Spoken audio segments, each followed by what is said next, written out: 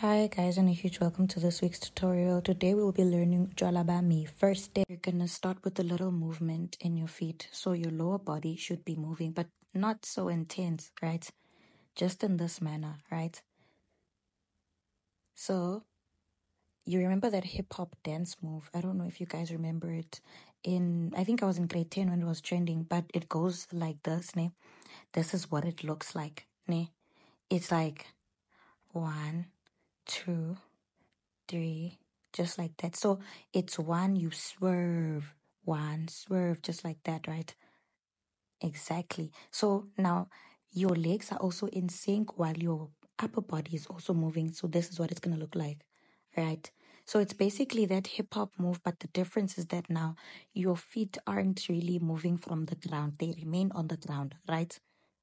So let's try that all over again. There's that little glitch when you start. So it's to be one and then one, two, and then one, two, three, four, five, down, two, three, four, up, two, three, four, down, two, three, four, up, two, three.